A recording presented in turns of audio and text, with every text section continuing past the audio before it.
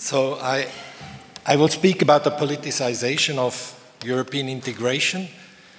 And as you will see, I will hardly use the term populism. The theme is illustrated by the cartoonist of The Economist, who two years ago uh, drew this graph. Uh, I think it nicely covers what you already suggested. The nationalists uh, live a renaissance and they try to pull the plug. Uh, I have the usual setup, uh, an introduction, some theoretical ideas, design a method, result, and a conclusion. Now, there are two types of conflicts politicizing European integration the intergovernmental conflict and the interpartisan conflict at the national level. And uh, Bridget already said uh, politics are still national politics mainly. And at the national level, I call them Europeanists, pro European positions versus Eurosceptics. And I leave it open whether the ones or the others are populist for the moment. Uh, my task is to identify the driving forces behind the politicization at the national level. Now, mainstream parties tend to depoliticize European integration. And they do so because they are constrained by the left, left right, the classical left right structure of party competition, because they have distinct programmatic reputations to defend. And uh, these uh, have mainly to do with the left right structure, which is cross cut by the uh, European integration issue. And they are often divided on these issues, so they try to play this down in order to uh, prevent internal conflicts to come out. And finally, if they are incumbents, and they often are, they have an additional reason to downplay this issue because uh, it would only bind their hands if they would mobilize on it. So the source of dynamism comes from new political parties, challengers, which are often then called populists. It comes in this particular case from the Eurosceptics. And uh, Bridget already used the term, the inverted U curve uh, is a is a term that comes from Hooghe and Marks, who introduced that term uh, in 2002 in an article where they showed that opposition to European integration comes mainly from the radical left and the radical right. But, there is a but, mainstream parties can't always succeed in depoliticizing the issue. And the UK, with the British Conservatives, is an example where uh, this happens. Now, during the Great Recession and the refugee crisis, uh, intergovernmental conflict between debtor and creditor states, and I introduce these terms descending arrival and destination states, spills over to the domestic level. So the two types uh, of conflicts reinforce each other and increase the politicization of European integration at the domestic level. But there is regional variation, as you have already been told in the introduction, and I think uh, this is very important. In Northwestern Europe, resistance against the Euro European Union is mainly resistance, or has been, in identitarian terms. In Northwestern Europe, this kind of resistance has been embedded in a larger conflict. Uh, we have called it the new cleavage between integration and demarcation. Other people have called it the transnational cleavage or a cleavage between universalism and particularism. There are different types uh, of names cosmopolitanism versus communitarianism. The idea is that this is a long term process that has been restructuring uh, political conflicts and political, uh, uh, political systems in Northwestern Europe since uh, at least 30 years. Remember, uh, Le Pen father, he uh, came, burst onto the political scene in France early in the early 80s of the last century. And European integration is part and parcel of this new conflict. Uh, immigration belongs to this uh, new conflict. Islam is another issue that has been politicized, and cultural liberalism, multicultural societies versus uh, homogenous societies. And this conflict in Northwestern Europe has been driven by the populist radical right, by the new right. The crises, so the Great Recession and the refugee crisis, have reinforced the populist right where it has already been established.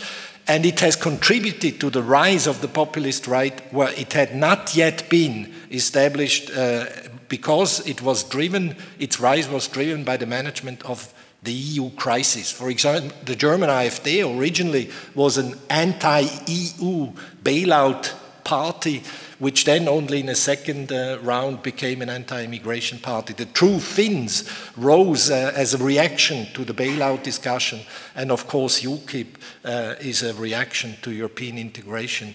Belatedly, these parties came up in countries which did not have these parties before. Now, in the European South, things are very different. Here, resistance against the European integration is mainly in economic terms. The long term structuring conflicts, which I have just talked about, were much weaker in the South. So you, you, had little immigration, these were emigration countries, and these were countries that benefited from European integration mainly. They came back to Europe, and uh, coming back to Europe was part of the modernization of these countries. But these countries were heavily hit by the Great Recession, and they suffered from strong pressure from the EU. And in these countries, the resistance that came out of this uh, uh, situation during the Great Recession was mainly driven by the populist radical left, the new left. The rise of new left opposition you, we witnessed in Greece, Syriza, in Spain, Podemos. The Bloco de Izquierda was already there, but it was reinforced, at least a little bit, in Portugal. And you have Cinque Stelle in Italy. Now, it's highly contested whether the Cinque Stelle is on the left or the right. But uh, I tend to think that it is much more on the left than uh, it, has been uh, interpreted so far by observers. At least it is a functional equivalent of the other uh, new parties on the left in the other countries. The, this happened especially in Greece. So the, the reaction was the strongest in Greece. The party system was destroyed, and Syriza replaced uh, the traditional Social Democratic Party, PASOK. In Italy, under the impact of the refugee crisis, you also get the rise of a radical right. Italy is exceptional in this case, uh, in this respect, in the south. Now, Central and Eastern Europe is very different again. You have weak, long term structuring conflicts. You have a lack of uh, institutionalization in the party system. And you have an ambivalent, I would say, an ambivalent relationship to the EU in economic terms. Uh, these countries have been main beneficiaries, and uh, even in the euro crisis, some of them tried to get into the eurozone. So it was very attractive for them to be part of it. In cultural terms, however, you uh, see a defensive nationalism in these countries rising and fueled by intergovernmental conflicts in the management notably of the refugee crisis. So, contrary to Western Europe, uh, this resistance is driven by mainstream parties from the right, like Fidesz or PIS, but also from the left, like PSD in Romania. Now, this in terms of uh, some ideas what uh, to expect. The design of the study is that we study national election campaigns and we studied 15 countries. Here you see the countries. Uh, we studied 57 campaigns, at least one before 2008, and then all elections since 2008 up to 2017. And what we study is uh, the content of the debate in the national media during the election campaign. And we do this uh, by identifying actor issue statements, among other things. So, a party or a party representative taking a position on a given issue. And we have 70,000 statements, actor issue statements, which we categorized in different uh, summary categories, among them European integration and the euro. Now, I present you the results in two steps overall politicization across Europe and regions, and then the contribution of individual parties overall per region and per period. And what I show you is the politicization across Europe of European integration. And politicization, just a few words to this term, it's composed of salience and polarization. So politicization is increasing as the salience of an issue increases in the electoral debate and as the polarization of the parties on this issue increases. It is highest if you have both salience and polarization. So we multiply the two components. And this is what you get. Now, it, it's a bit a complicated picture, but uh, I explain it to you. You have salience, polarization, and politicization. And you have the, on the horizontal axis, you have time.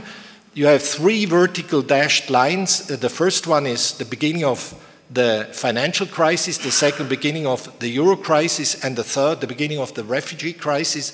And then you have two horizontal dashed lines. The lower one is the average salience politicization, uh, uh, polarization and politicization across all issues. And uh, the upper line is uh, the average plus one standard deviation. So the upper line indicates roughly the, third the three most important uh, topics in an election. And what you see now, you see two lines, a solid line, that's European integration, and for comparative purposes, uh, a dashed line, that's immigration. And you see that at the moment of uh, the beginning of the financial crisis, European integration increases in salience, in polarization, and in politicization. And you see the same thing happening for immigration. At the beginning of the refugee crisis, uh, uh, immigration uh, starts to increase in salience, in polarization, and in politicization. And at, at the end of the period in 2017, both uh, immigration and European integration are at the upper at the upper line, which means they are among, let's say, the three most important issues. So these issues have become, during the crisis, much more politicized in national elections than they were before. This is uh, to show you the, the, regional differences. It's mainly, you see, a Southern European uh, phenomenon, and you also see individual points. Uh, you see up there the four Greek elections from 2012 and 2015. It's mainly a Greek affair, the politicization of European integration. In Central and Eastern Europe, the, the line is extremely flat and it's below average, so it has not, Europe has not been politicized in elections in Central and Eastern Europe. And in Northwestern Europe, the line is increasing somewhat and is reaching the upper, uh, the upper uh, horizontal line. So in, 19, uh, in 2017, in the UK, in France, in the Netherlands, in Austria, it was pretty highly uh, politicized. Uh, a few uh, words about individual parties now. The party level politicization is defined as the salience time times the distinctiveness of the position of a party, uh, which is the deviation of the position of the party from the country average. I show you four party families the radical left, the radical right, the center right, and the center left. And I also show some other factors, uh, the systemic agenda and government opposition dynamics, and I show you pre-post crisis. The expected results are, yeah, I was afraid. So I don't show, say anything about expected results, just the results. The, the systemic agenda has an impact on Eurosceptic parties. If other parties uh, mobilize on Europe in favor of Europe, then Eurosceptic parties mobilize more against Europe. Uh, the inverted U curve is indeed still there. So overall, in Northwestern Europe, in Southern Europe, but not in Central Eastern Europe, where there is a general lack in structure, you have the radical left and the radical right that mobilize in Europe against Europe. And then in Northwestern Europe, even center-right parties are more Eurosceptic than center-left parties. The opposition parties are more Eurosceptic, but only in Southern Europe. And here, uh, the period effect, this is most interesting. Uh, you have in gray the effects during the crisis, and in black the effects before the crisis. And what you see, look at Southern Europe. What you see is that as an effect of the crisis, the radical left and the radical right, both of them have very strongly uh, taken anti European positions, while the center left and the center right have clearly, significantly been taking pro Europe positions. Uh, in the north, what happens in the crisis on the radical right, not much. It has already been very uh, anti European before the crisis, but you see the radical left also is now uh, uh, Eurosceptical. And finally, in uh, Central and Eastern Europe, it's flat. Nothing is happening. Neither, uh, not any specific party family is distinguished by its position on uh, central, uh, on the European integration issue. So to conclude, I, I, say it's still a rather marginal issue in uh, election campaigns. Uh, maybe I'm a bit uh, too uh, downplay, too much downplaying. It's, it's, it, European integration is playing an increasing role, uh, especially in the south and especially in Greece. So in Greece it was predominant. In the south, it's generally more important. Uh, parties specifically, the familiar inverted U curve holds. Under conditions of increased politicization, the U curve gets more pronounced, mainly in Southern Europe. The strategic hypothesis that the opposition would come uh, mainly from opposition parties, that gets little support. My take on it is that EU integration is part and parcel of this new structuring conflict, which is most advanced in Northwestern Europe and which also gets uh, stronger in Southern Europe, whereas in Eastern Europe we don't see anything of that yet. Thank you. Thank you very much.